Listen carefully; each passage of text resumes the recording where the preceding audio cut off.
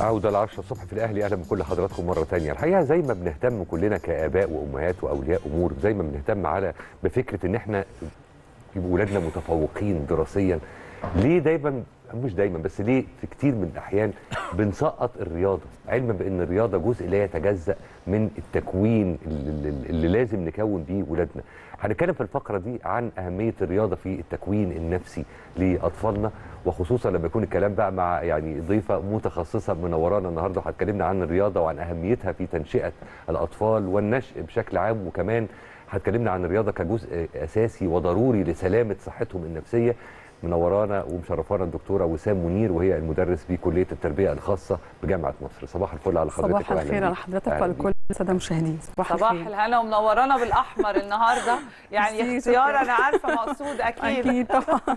منورانا يا دكتور حقيقي. شكرا وزي ما كنا بننوه في بداية الحلقة خالص الملف ده مهم جدا.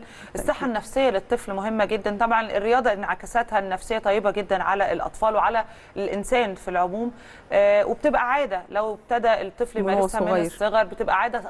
على عكس انت لما تكبر بقى وتبتدي حتى تمارس رياضة في الجيم تبقى صعبة شوية. فخلينا نبدأ من هنا. وإيه اللي المفروض يتم اتباعه مع الأطفال علشان يحبوا أصلا ممارسة الرياضة؟ خليني أقول كده في البداية زي ما حضرتك قلت كده إن في فرق أو في ناس بتقول إن الرياضة في وقت الدراسة بتخلي الطفل مش مركز أو إن هي بتاخد من وقت المدرسة. وطبعا ده مفهوم سلبي وخاطئ جدا بشكل كبير قوي حاجة ثانية مهمة بنقول في مثل كده شعبي بيقول إيه في الحركة؟ بركة, بركة. فالبركة بتيجي منين؟ الواحد طول ما هو بيتحرك طول ما هو قايم قاعد رايح جاي كل ده نشاط عقلي نشاط ذهني نشاط بدني الشخص بيقوم بيه. فبالتالي غير الطفل التاني أو شخص تاني طول الوقت قاعد خملان آه كسلان مش قادر يقوم حاسس بال بال بالبلادة حاسس إن هو مش قادر يتحرك. فبالتالي الرياضة بشكل عام أي رياضة الإنسان هيمارسها في حياته دي مهمة جدا بالنسبة له. طيب مهمة في إيه بقى؟ حاليا الرياضة مهمة في حاجات كتير قوي اهمها عندي الرياضة الصحية أو الجسمانية أو البدنية إن هي بتقوي عضلات عضلات العضلات بتقوي عضلات القلب الجسم الصحة العامة بشكل عام بتكون قوية جدا وهايلة جدا. بدليل إن إحنا بنلاقي الشخص الرياضي شكله كده مختلف عن الشخص البدين أو اللي هو ما بيمارس أي نوع أو أي نشاط من الرياضة. عندي بقى الصحة النفسية أو أهمية الرياضة من الصحة النفسية ودي بقى أهمهم قوي ليه؟ لأن بقول مثلا إن الشخص اللي دايما بيمارس رياضة سواء لعبة فردية أو لعبة جماعية بتفرق معاه كتير قوي.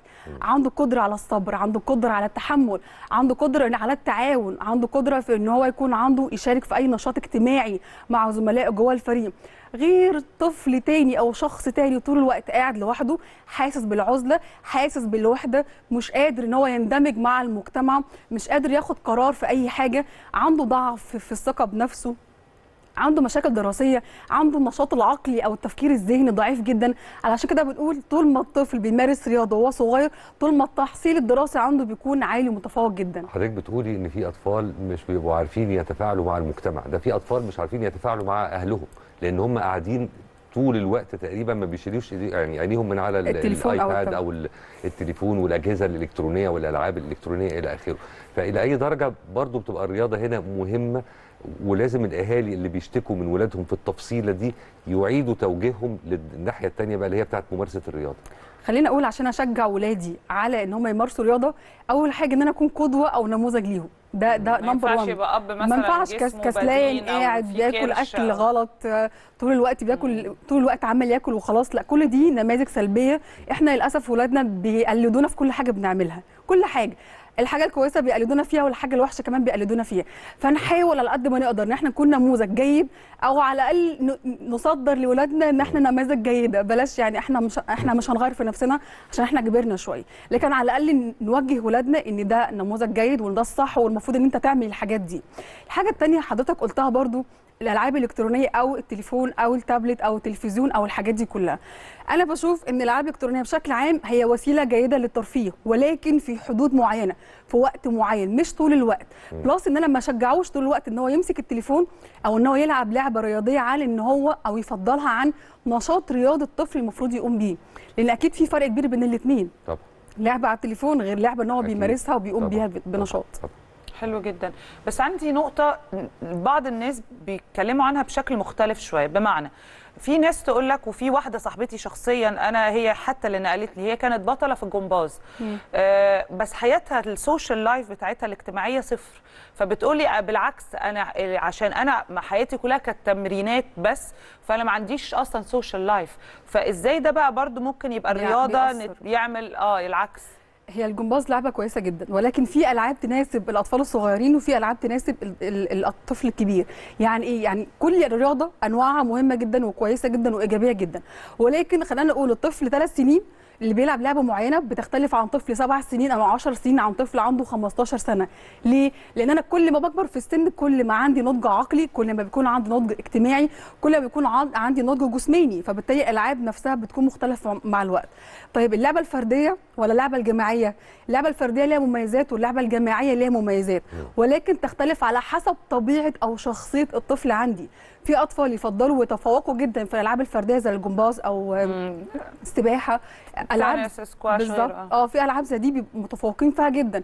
وفي ألعاب تانية الاقيهم في الألعاب الفردية كرة القدم كرة السلة الحاجات دي لا بيكونوا برضه متفوقين الألعاب فيها. الجماعية معروف تقدري تعملي صحاب لو بس, ده بس في. أطفال ما بيعرفوش يعملوا بس فيها الفردي جماعية. فيها مشكلة بقى لأن أنت بتبقى بتتمرن لوحدك دور بقى مهم وكبير جدا في الموضوع ده. نعمل إيه؟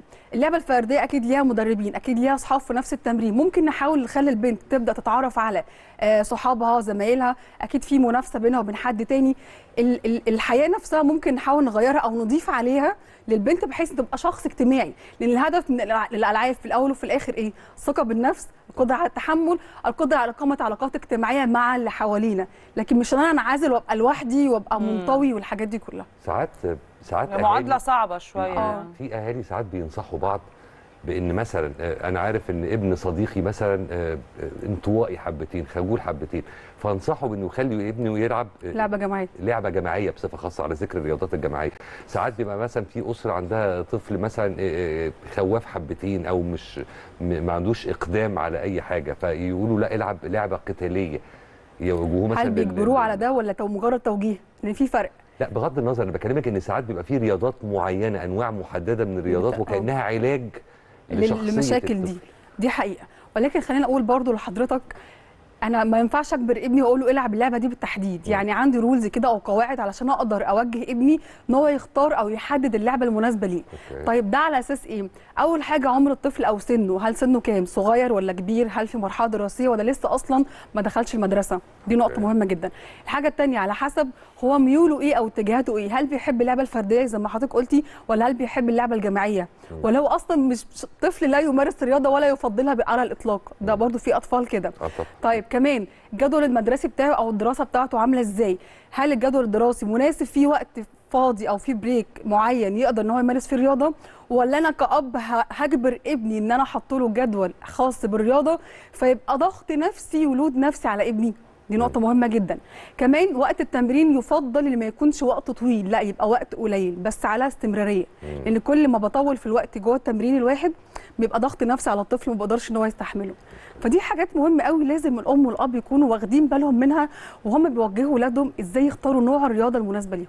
طيب حلو جدا هروح معاكي برضو لكذا نقطة أنا وكريم بس اتفضل. هبدأ معاكي بفكرة آه، الاستمرارية لأن إحنا ذكرناها سريعا بس فكرة إن أنا أخلي فيه استمرارية دي مش هتيجي من الطفل نفسه لازم يكون الأهالي هم اللي. بيشجعوه على ده طبعاً. آه، وهل بقى سؤال يعني سؤالي عن هذا الموضوع هل ممكن يكون في طفلين بنفس المستوى ولكن أهل طفل منهم بيشجعوا بشكل كبير وأهل الطفل التاني سايبينه وخلاص عايز تكمل كمل مع إن الاثنين بنفس المستوى الفني مثلا فبيفرق في مستقبل الأطفال؟ وإزاي بتعالجوا ده كمان لو هو موجود؟ خلينا أقول إن البيئة بتلعب 80% من من نجاح أي شخص فينا. البيئة المقصود بها هي الأم والأب والأسرة آه، الأقارب آه، المدرسة ال- المحيط الاجتماعي الخاص بالطفل. 80% بيشكل من شخصية أو تكوين الطفل. فبالتالي حضرتك قلتي نموذجين الاثنين كويسين جدا ولكن هنا الأم والأب بيشجعوا بشكل كبير قوي وهنا طفل تاني الأم والأب مش إن هم بيشجعوش ولكن مش بي مش. محفزين بشكل عالي أو بدرجة عالية قوي. طبعا الفرق كبير جدا بين الاثنين عشان كده بنقول لكل أم وكل أب إن التشجيع والتحفيز والدعم المستمر للطفل هو ده طريق الطفل للنجاح والتفوق والإبداع في أي رياضه رياضة أو أي نشاط هيقوم بيه. على عكس طفل تاني ممكن يكون على المستوى الفني والمهاري عالي جدا جدا ولكن هنلاقي الأم مش مهتمة مكبرة دماغها مش فاضياله مش بتتابعه ما بتروحش معاه النادي مش دايما بتفكره وتقول له روح مواعيد النادي بتاعتك عاملة إزاي. ما بتوفرلوش ال- الأدوات المناسبة للرياضة كل رياضة ليها أدوات خاصة بيها. من أول الشوز لحد لو رياضه بتلعب ليها كورة أو حاجة معينة أو المضرب أو أي حاجة معينة. معينة. بالظبط. الحاجات دي الطفل هيوفرها إزاي؟ كمان وسيلة المواصلات مهمة جدا. هل هختار له نادي قريب مني ولا نادي بعيد عني؟ طيب لو نادي بعيد عني لازم أوفر له وسيلة مواصلات تكون مناسبة ليه علشان ما يبقى ما يبقاش إرهاق نفسي وجسدي عليه كمان. بس ده مش معوق قوي لأن أنت عندك معظم اللعيبة اللي في الفرق الأولى دلوقتي والأبطال كانوا في الأندية المختلفة. اللي هتكلم عن النادي الأهلي من محافظات. يعني آه، طالما في إصرار وعنده آه، هدف. طبعا بيوصل له بس لكن يعني- اللي جوه القاهرة للمسافات بتبقى الدنيا زحمة شوية. فالموضوع برضو إن أنا أوفر له مكان قريب منه أو على الأقل وسيلة مواصلات سهلة أو مريحة بالنسبة له ده بيشجعه أصلا أكتر على الاستمرارية اللي حضرتك قلتي عليها. إحنا الهدف إن أنا إن أنا أكمل وأستمر وأنجح وأبدع وأبتكر في اللعبة بتاعتي. مش إن أنا أخش خلاص فترة معينة فترة الصيف بس ألعب فيها لعبة معينة وأول ما الدراسة تيجي ما أروحش خالص أو أمتنع عن الرياضه طيب بالعكس يعني قدمنا حضرتك آه، وقلنا دكتورة وسام منير هي أستاذ أو مدرس التربية الخاصة في جامعة مصر. إيه هي التربية الخاصة؟ يعني إيه أستاذ في التربية الخاصة؟ طيب أنا قبل ما أجي كان في فقرة بتتكلموا فيها عن حالات الشلل الدماغي مظبوط؟ صحيح. طيب دي بقى ده عندنا الشلل الدماغي أو الاعاقات بشكل عام عندنا في كلية التربية الخاصة. عندنا أكتر من قسم عندنا قسم بالاعاقه السمعيه والبصرية عندنا قسم بالاعاقات الذهنية أو العقلية قسم خاص بالشلل الدماغي أو الاعاقات الحركية عندنا قسم خاص بصعوبات التعلم وقسم آخر بالموهوبين وعندنا قسم آخر خاص بالتربية النفسية أو التربية آه، العملية. كل دي أقسام أو حاجات موجودة جوه التربية الخاصة. طب إيه التربية الخاصة أصلا دي؟ التربية بشكل عام عبارة عن مبادئ أو وسائل أو طريقة أنا بستخدمها علشان أعلم بيها ابني شيء معين. ايا كان الحاجة دي سواء حاجة إيجابية أو حاجة إيه حاجة سلبية. تمام؟ فالتربية الخاصة إن أنا بنتقي وسائل وأدوات وطرق خاصة بهذا الطفل أو هذه الحالات من الأطفال اللي بيكون عندهم مشاكل نفسية مشاكل اجتماعية عندهم مشاكل جسمانية بأي نوع من الأنواع اللي إحنا قلنا عليها دي من شوية. فهو هو already هو تربية عامة. لكل أو متاحة لكل الأطفال ولكن أنا بختص منها حاجات معينة special معين بطريقة معينة علشان تتماشى أقدر مع فئة معينة معين من الأطفال. اللي عندهم حالات خاصة. okay. طب صناعة البطل صناعة البطل يا دكتور برضو مش سهلة. يعني بنسمع عنها بنشوف نماذج وغيره بس عشان أصنع بطل هي قصة لا تقتصر فقط إن أنا أوديه تمرين وأبقى مواظبة معاه إيه العوامل اللي في الآخر ممكن تصنع لي بطل في المستقبل؟ عشان أقدر اصنع بطل اول حاجة ان الام والاب يكونوا هم عندهم الدافع لهذه الصناعة دي نقطة مهمة جدا، الأم والأب عليهم العامل الأكبر والدافع الأكبر في صناعة هذا البطل. الحاجة الثانية إن الطفل نفسه يكون عنده قدرات جسمانية يعني جسم يكون مساعدني في إن أنا هدربه على اللعبة دي أو على النشاط ده.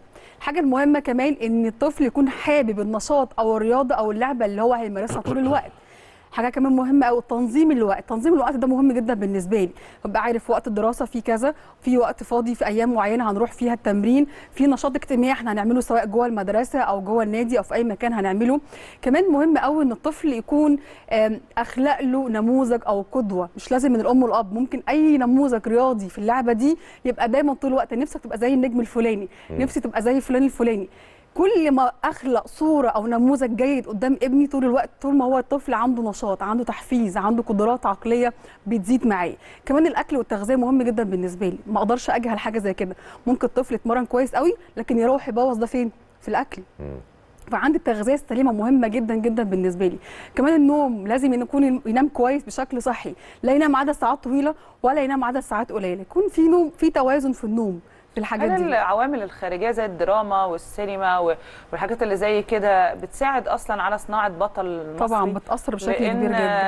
أنا بشوف إن في تقصير لو هتكلم بصراحة وأنا عادة بتكلم بصراحة في تقصير كبير في ما يعرض في. الدراما. والسينما من فكرة إن أنا بعمل حاجات محفزة إن أنا أصنع بطل عندي يعني حاجات تتعدى على إيد واحدة بمعنى زي. فيلم النمر الأسود بتاع الراحل يا أحمد شوف انت زكي بصي بتدي مثال بحاجة في رغم إن. كل الصعوبات اللي مر بيها بالظبط فده نموذج وقدوه شوف هو كان فين وبدأ اتعمل إيه بعديه بقى مفيش حاجة تقريبا كان في فيلم تقريبا لأحمد هلال بس يعني مش نقدر نقول على. استحياء آه يعني مش ظاهر قوي أو موجودة ما على فيش استحياء. spot بشكل يعني. على الرغم ان الدراما أو الأفلام بشكل عام وال social media كمان كل ما بن... بن... ما بندعم فكرة صناعة أبطال أو إن إحنا بندعمهم وبنشجعهم وإن الدولة واقفة جنبهم بتساندهم ياخدوا بطولات سواء آه، في أفريقيا أو في العالم لا الحاجات دي النماذج دي كلها. بتخلي الأطفال الصغيرين الفترة دي عندك عايزه نماذج أنجح. عاوزة عاوزة أجيب عايزه أجيب الكاس عايزة عايزة أبقى بطل كده عايزة أبقى. مشهور كده عايزة أبقى.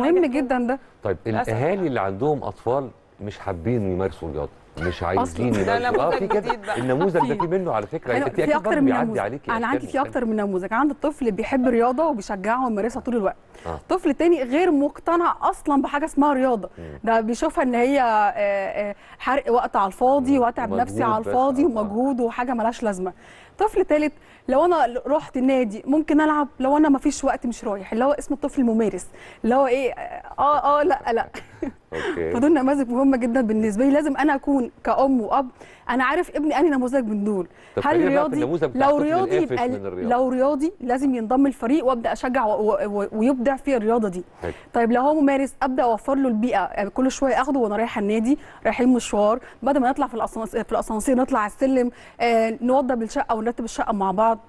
عايزة أرهقه كده عايزة أحركه مش عايزاه يفضل قاعد في البيت. طيب اللي حالف يمين معظم ما أيوه بقى. انت بتصعبها خلي بالك أصل النموذج ده موجود والله. بتضغط أيوة. عليها في الأسئلة بس ماشي. ده طفل ده طفل بقى هو أنكر الموضوع خالص مش شايف انه مفيش فايدة للرياضة دي. يبقى أنا النموذج أنا شايف إن الحل بتاعه هو النموذج. بمعنى إيه؟ طول الوقت اقعد أقول له الرياضة طول ما أنت بتعمل حركة طول ما أنت نشاطك العقلي بيأثر على تفكيرك. طول ما أنت خملان وكسلان وقاعد في البيت هتتخن. هيبقى عندك ولا سمنه. هيتريقوا عليك؟ والله البقين دول هيحركوا. استحالة يا دكتور. هيتنمروا هيتن... هيبقى في تنمر على فكرة. هقول لك على حاجة. بجد والله الطفل الكسول ده أو اللي عنده خمول ده يا إما بياكل كتير يا إما هو اوريدي ليل ونهار قدام التليفون أو التلفزيون يا إما الأم والأب رامين يعني مش ما مش مركزين معاه خالص. فالأم والأب أنا شايفة طول الوقت الام حركوه خ- في نشاط جوه البيت جوه البيت. أنا ما بتكلمش عن بره البيت دلوقتي. أيوة. رتب أوضتك. قوم صلي ما الصلاة دي رياضة. آه آه، نلعب كورة نشغل أغاني نرقص جوه البيت. آه نجري نطلع سلم نعمل أي نشاط رياضي جوه البيت. هو بدأ يحس إن في فرق بين إن أنا جسمي كسلان وخملان وبين جسمي فيه حركة ونشاط. يجي بعد كده يجي يذاكر. أي مادة أي مادة هتحس إن في نشاط في قوة عقلية عنده فرقت معاه كتير قوي. غير وهو كان نايم صحي على الكتاب وبيذاكر. صدقيني في فرق مع الوقت يعني هيظهر مع بيأثر الطفل. بالإجابة على الاستيعاب وعلى تحصيل المعلومات. بينشط الذاكرة وبيقوي التركيز وبيخلي الجسم دايما في صحة آه، صحته عالية جدا بيساعدك على التنفس بشكل جيد آه، بيحفز عندك كل الوظائف المعرفية الخاصة بالجسم. كل الحاجات دي مهمة جدا بالنسبة لنا. والدليل على ده إيه؟ إحنا في أي مدرسة الصبح أي يوم دراسي يبقى في حاجة اسمها إيه؟ حصه نشاط أو طابور الصباح. بيعملوا إيه في طابور الصباح؟ هوبا واحد اتنين تلاتة أربعة لا واتنين. ده ده إحنا فاكرين. ليه بقى؟ أيوه الحاجات دي. بصراحة كنا بنعمل ليه كده. الحاجات دي ما بقيناش. ليه صحيح؟ أيوه بجد الحاجات دي بتحصل دلوقتي بس مش م... الطفل ما بقاش فاهم هو بيعمل ده ليه. هو ممكن يقلد ال- ال- ال miss أو ال teacher بتاعة الرياضة ما بي... مش فاهم ده ليه. لكن فعلا كل نشاط إحنا بنعمله الصبح بدري كل ما بيكون محفز بشكل كبير قوي لأي نشاط عقلي إحنا نعمله. لأنه أصعب نشاط الإنسان بيعمله؟ إن هو يفكر. التفكير ده نشاط بي- بيحتاج مني انتباه تركيز ذاكرة بيحتاج مني حاجات كتير قوي. فأنا طول ما أنا نشيط فأنا القوه قوة جسمي كلها بتساعدني في إن أنا أذاكر إن أنا التحصيل بتاعي يكون جيد. كمان المنافسة المنافسة دي في حد ذاتها بتخلصني أو بتساعدني في إن أنا حتى لو خسرت في أي حاجة لا أنا أقدر أعوض. مهما خسرت أنا أقدر إن أنا آه، المرة الجاية هتفوق المرة الجاية هجيب جون المرة الجاية أنا هنجح في اللعبة دي. فكل الحاجات دي الرياضة دي دي لها سحر رهيب على فكرة مش حاجة كده إحنا بنمر بيها. المادية لو عايزة تجيبي من الآخر. آه المادة كمان آه طبعا. على فكرة مهمة جدا على فكرة يعني كمان بتفرق. لو عملت كذا هتاخد غلط باي مص- ذا يعني في الرياضة لأن جداً. هو already لو بقى بطل هيبقى عنده دخله كويس جدا مش في برضه. الرياضة بس ده في كل حاجة الطفل لو ذاكرت كويس شوف انت نفسك في إيه تمسك التليفون هديك التليفون بس في وقت معين عايز تروح مكان معين السينما هوديك السينما كل ما بيكون في تحفيز آه. للطفل طول ما انت بتشجعيه ان هو يعمل الحاجة اللي انت عاوزاها صح مفيش تحفيز مفيش تعزيز طبيعة البشر أنا كده قاعد، عامة مش هعمل. كده صحيح. صحيح للأسف إحنا وقتنا انتهى. يا دوب نلحق آه، نشكرك على. وجودك معانا. نورتينا. شكرا ميرسي جزيلا. قوي شكرا. ميرسي. جدا يا ميرسي دكتور وسام. شكراً. والله فقرة جميلة. ميرسي. أشوفك إن شاء الله مرة ثانية عندنا. أكيد إن شاء الله بإذن الله. هنروح فاصل سريع مع حضراتكم ونرجع للفقرة الأخيرة. خليكم معانا.